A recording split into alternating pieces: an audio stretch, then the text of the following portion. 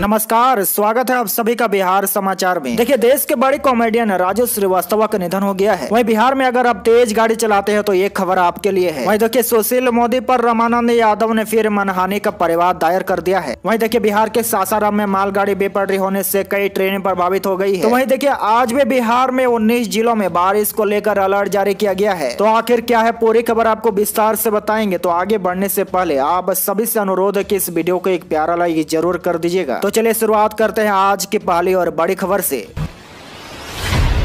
तो चलिए पहली खबर में देखिए, कॉमेडियन राजू श्रीवास्तव का निधन, दिल्ली एम्स में लिए अंतिम सांस। जी हाँ बड़ी खबर। बॉलीवुड गलियारे से आ रही है, जहाँ कॉमेडियन राजू श्रीवास्तव का निधन हो गया। उन्होंने दिल्ली एम्स अस्पताल में अंतिम सांस ली है। पिछले कई दिनों से उनकी तबीयत खराब चल रही थी। आपकी जानकारी के लिए बता दें कि राजू श्रीवास्तव बयालीस दिनों से एम्स में एडमिट थे। राजू श्रीवास्तव को दस अगस्त को इलाज के लिए एम्स में भर्ती कराया गया था। अंठावन साल की उम्र में उन्होंने अंतिम सांस ली है। बड़ी खबर में देखिए, बिहार में तेज गाड़ी चलाने वाले हो जाए सावधान। पकड़े गए तो रद्द होगा लाइसेंस। जी हाँ बिहार के वैसे लोग जो गाड़ी फुल स्पीड में चलाते हैं, अब वे सावधान हो जाइए, क्योंकि ट्रैफ़िक पुलिस की आप पर पैनी नज़र रहने वाली है। तेज गाड़ी चलाना आपके लिए मुसीबत साबित हो सकती है, क्योंकि पकड़े जाने पर आपका ड्राइविंग लाइसेंस रद्द कर दिया जाएगा। पिछले दो दिन की बात करें तो तीस ऐसे लोग पकड़े जा चुके हैं, जिनका जिनका ड्राइविंग लाइसेंस रद्द करने के लिए डी ऑफ़िस को लिखा गया है। दरअसल राजधानी पटना में हर रोज कई लोग सड़क हादसे का शिकार हो रहे हैं। इसके पीछे सबसे बड़ा कारण यही है कि तेज गति से गाड़ी चलाते कई लोगों की जान भी चली जाती है तो कई लोग घायल होकर रह जाते हैं। इतना ही नहीं, कई बार निर्दोष लोगों को भी अपने जान की कीमत चुकानी पड़ती है। लेकिन अब ट्रैफ़िक पुलिस सरकत में आ गई है। कई सालों से पटना में गंगा पथ, अटल पथ और दीघा एम्स, एलिवेटेड रोड इत्यादि तेज रफ्तार सड़क का निर्माण हुआ है। इन पर कई बाइकर्स न केवल खतरनाक तरीके से बाइकर चलाते हैं, बल्कि जान को जोखिम में डालकर स्टैंड तक करते हैं। वहीं एक्सप्रेसवे पर वाहन चालक गति सीमा का पालन भी नहीं करते हैं। इसको लेकर ट्रैफ़िक पुलिस लगातार वाहनों का चलान कर रही है। विशेष अभियान के तहत गत दो दिन में जेपी गंगा पथ और दूसरे जगहों पर तेज गति से वाहन चलाने वालों पर कार्रवाई की गई है। पुलिस ने उन सभी तीस चालकों के ड्राइविंग लाइसेंस रद्द करने की अनुशंसा की है। बड़ी खबर में देखिए, बिहार में आज भी मौसम रहेगा सुहाना। उन्नीस जिलों में अलर्ट जारी, बारिश के साथ वज्रपात की आशंका। जी हाँ बिहार में इन दिनों जमकर बारिश हो रही है। लोगों को गर्मी से राहत भी मिले है। किसानों के लिए ये काफ़ी अच्छा समय है। वही कुछ जिलों में इसका बुरा असर भी देखने को मिल रहा है। बीते दिन बिजली गिरने से बिहार में ग्यारह लोगों की मौत भी हो चुकी है। मौसम विभाग ने लोगों को अलर्ट रहने के लिए गाइडलाइन का पालन करने को कहा है। बता दें कि उन्नीस जिलों में बारिश और वज्रपात को लेकर एक बार फिर से मौसम विभाग के द्वारा अलर्ट जारी कर दिया गया है। इन जिलों में आज बारिश होने की अच्छी संभावना है। वहीं बाकी जिलों में भी मौसम सुहाना रहने की उम्मीद है। मौसम विभाग के अनुसार आज बिहार के 19 जिलों में अच्छी बारिश होगी। इन जिलों में मेघ गर्जन के साथ वज्रपात की प्रबल संभावना है। इसमें पटना, पूर्वी चंपारण, गोपालगंज, सिवान, सारण, बक्सर, भोजपुर, कैमूर, रोहतास, औरंगाबाद, अरवल, गया, जहानाबाद, नालंदा, नवादा, शेखपुरा, लखीसराय और बेगूसराय शामिल है। बड़ी खबर में देखिए, बीजेपी के सामने कभी लालू झुकेगा नहीं। राज्य परिषद की बैठक में बोले 2024 में देश से भगा देंगे। जी हाँ लंबे समय के बाद बिहार की राजनीति में एक्टिव हुए आरजेडी सुप्रीमो लालू प्रसाद यादव ने बीजेपी पर जमकर हमला बोला है। आरजेडी राज्य परिषद की बैठक में लालू यादव ने बीजेपी के दंगाई पार्टी बताते हुए कहा कि दंगाइयों के सामने हार पार्टी झुकी है, लेकिन मैं अब तक झुका नहीं हूँ।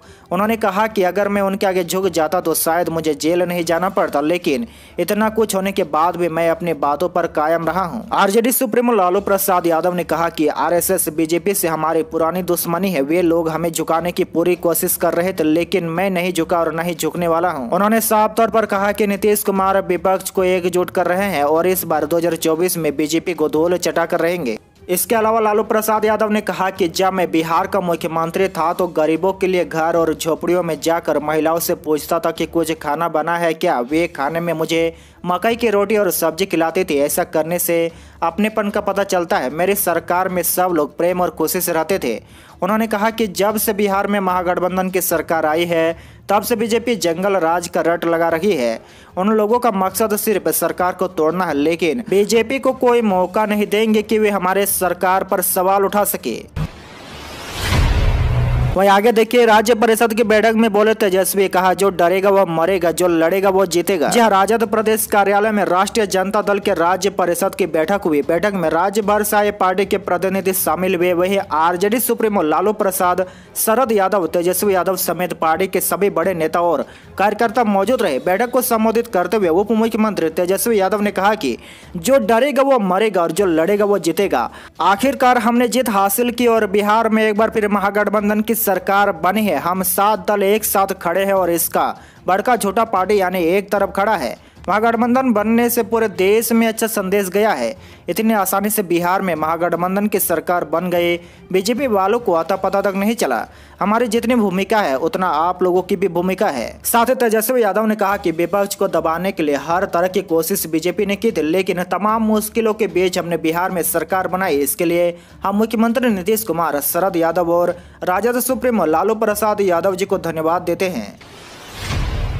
बड़ी खबर में देखिए, सुशील मोदी पर मंत्री रामानंद यादव ने दायर किया मनहानि का परिवाद। तेईस सितंबर को होगी सुनवाई। जहाँ बिहार में जारी सियासी हलचल के बीच एक बड़ी खबर सामने आई है। राज्य के खनन मंत्री डॉक्टर रामानंद यादव ने बीजेपी के राज्यसभा सांसद सुशील कुमार मोदी के खिलाफ मनहानि का परिवाद दायर किया है। आपको बता दें कि इसके पहले सुशील मोदी ने रामानंद यादव के खिलाफ मनहानि का परिवाद दाखिल किया था। रामानंद यादव का सुशील मोदी पर आरोप है की जब कैबिनेट का विस्तार हुआ तो सुशील कुमार मोदी ने कहा की इसमें आपराधिक छवि के लोगों की भरमा कुमार है। उन्होंने ललित यादव, रमानंद यादव, सुरेंद्र यादव और कार्तिक कुमार का नाम लेते हुए कहा कि ये लोग आपराधिक पृष्ठभूमि के हैं। ललित यादव वह व्यक्ति है जिन्होंने ड्राइवर दीनानाथ बैठक नाखून उखाड़ लिया था। इस घटना पर लालू यादव ने उन्हें अपने मंत्रिमंडल से निकाल दिया था। दरअसल ये पूरा मामला तब शुरू हुआ जब रामानंद यादव ने सुशील कुमार मोदी पर आरोप लगाते हुए कहा था कि मोदी के पास आय से अधिक संपत्ति है। उन्होंने पटना के एक मॉल और फ्लैट को भी सुशील मोदी का होने का दावा किया था। इसके बाद सुशील मोदी ने उन्हें खुली चुनौती दे दी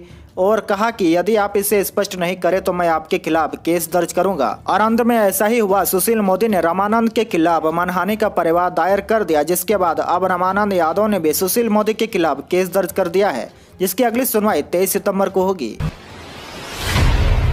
बड़ी खबर में देखिए, सासाराम में मालगाड़ी बेपटरी होने से गया दिन दयाल उपाध्याय रेलखंड पर परिचालन ठप, कई ट्रेनें हुई प्रभावित। जी हाँ बिहार के सासाराम ज़िले से गुजरने वाले गया दिन दयाल उपाध्याय रेल मार्ग पर बुधवार के अगले सुबह कुम्हाड़ स्टेशन पर एक मालगाड़ी बेपटरी उतर गई, जिससे गया दीनदयाल उपाध्याय रेल मार्ग बाधित हो गया है। इस दुर्घटना से गया हावड़ा मुगल सराय लाइन पर 14 पैसेंजर ट्रेनों का परिचालन प्रभावित, सभी ट्रेन अलग अलग स्टेशनों पर रुकी है। इधर पूर्व मध्य रेलवे के सीपीआर वीरेंद्र कुमार ने बताया कि परिचालन सामान्य होने में वक्त लगेगा। घटना के कारणों की जाँच होगी। उन्होंने चौदह ट्रेनों के फंसे होने की जानकारी दी है। खबर में देखें नीतीश कैबिनेट मीटिंग में सोलह प्रस्तावों पर लगी मोहर। बारह जिलों में बनेगा ओबीसी प्लस टू कन्या विद्यालय। जी हाँ मंगलवार को हुई नीतीश कैबिनेट की मीटिंग में कुल सोलह प्रस्तावों को मंजूरी दे दी गई है। बताया जा रहा है कि मुख्यमंत्री नीतीश कुमार ने कल कैबिनेट की बैठक बुलाई थी। मुख्य सचिवालय में मंत्रिमंडल कक्ष में हुई मीटिंग में कई महत्वपूर्ण प्रस्तावों पर कैबिनेट ने सर्वसम्मति से निर्णय लिया है। कुल सोलह प्रस्तावों को पारित कर दिया गया है। आपकी जानकारी के लिए बता दें कि सूबे के बारह जिलों, कैमूर, सुपौल, पूर्वी चंपारण सिवान, जहानाबाद, मुजफ्फरपुर, खगड़िया, शेखपुरा, गोपालगंज, बेगूसराय, भोजपुर और बक्सर में 520 छात्राओं की क्षमता वाले बारह ओबीसी आवासीय प्लस टू बालिका उच्च विद्यालय के भवन के निर्माण की स्वीकृति दे दी गई है। इसके लिए कुल अनुमानित लागत लगभग 550 करोड़ रुपए की मंजूरी दी गई है।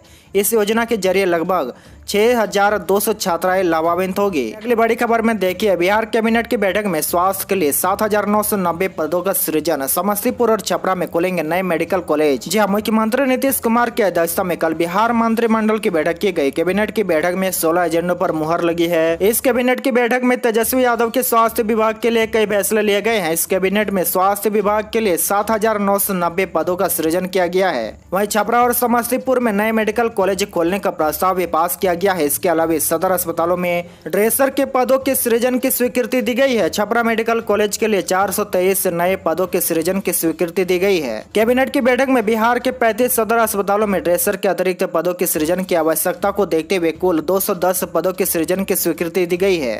बड़ी खबर में देखिए, बिहार में बम्पर बहाली। सिविल कोड में सात हज़ार छह सौ बिरानवे पदों पर निकली है वैकेंसी। आज से करे ऑनलाइन आवेदन। जी हाँ बिहार के वावो से जो दस लाख नौकरी देने का वादा किया गया था वो अब पूरा होते दिख रहा है। राज्य के सिविल कोड में बम्पर बहाली निकली है। इस बहाली के तहत क्लार्क स्टोनोग्राफर, कोड रीडर सह गवाही लेखक और चपरासी के कुल सात हज़ार छह सौ बिरानवे पदों पर भर्ती होगी। इसके लिए ऑनलाइन अप्लाई करना होगा। अभ्यर्थी इसके लिए आज से आवेदन कर सकते हैं। वहीं 20 अक्टूबर 2022 के बाद एप्लीकेशन की प्रक्रिया बंद कर दी जाएगी। साथ ही आपको बता दें कि इन सभी पदों पर अप्लाई करने के लिए किसी भी अभ्यर्थी की उम्र इक्कीस से सैंतीस साल तक होनी चाहिए। वहीं अगर महिलाओं एबीसी और ओबीसी की बात करें तो इन्हें तीन साल की छूट दी गई है।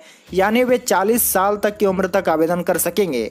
वहीं एससी और एसटी के महिलाओं और पुरुष को उम्र सीमा में पाँच साल की छूट मिली है। इच्छुक अभ्यर्थी की योग्यता की बात करें तो दसवीं पास से लेकर ग्रेजुएशन किए हुए छात्र इन पदों के लिए आवेदन दे सकेंगे। ऑनलाइन आवेदन भरने के लिए छात्र www.district.ecode.government.in.पटना पर जाकर आवेदन कर सकते हैं। खबर में देखिए, बिहार बोर्ड से पुराने सर्टिफिकेट व मार्कशीट निकालना हुआ महँगा, देने होंगे अब इतने रुपये। जी हाँ बिहार विद्यालय परीक्षा समिति ने उच्च माध्यमिक परीक्षा के लिए विभिन्न कागजातों के लिए संशोधित शुल्क जारी कर दिया गया है। अब पंद्रह वर्ष एवं पंद्रह वर्ष के बाद कागजात निकालने के लिए पच्चीस सौ रुपये देने होंगे। ऐसे में 1980 से पहले वाले स्टूडेंट अगर अपना प्रमाण पत्र निकालना चाहते हैं तो इसके प्रोसेस के लिए प्रोसेस शुल्क देना होगा। प्रोसेस शुल्क अलग अलग निर्धारित की गई है। पहले बोर्ड द्वारा प्रोसेस शुल्क नहीं ली जाती थी। बोर्ड द्वारा आयोजित 5 सितंबर 2022 की बैठक में यह निर्णय लिया गया है। वहीं 16 सितंबर को बोर्ड सचिव ने इसे लागू कर दिया है। इसके बाद बोर्ड के सभी नौ प्रमंडल के क्षेत्रीय कार्यालय में से सोमवार को नोटिस बोर्ड पर चिपका दिया गया है। आज के लिए बस इतना ही। इसी तरह बिहार के डेली न्यूज़ देखने के लिए आप हमारे चैनल को ज़रूर सब्सक्राइब करें।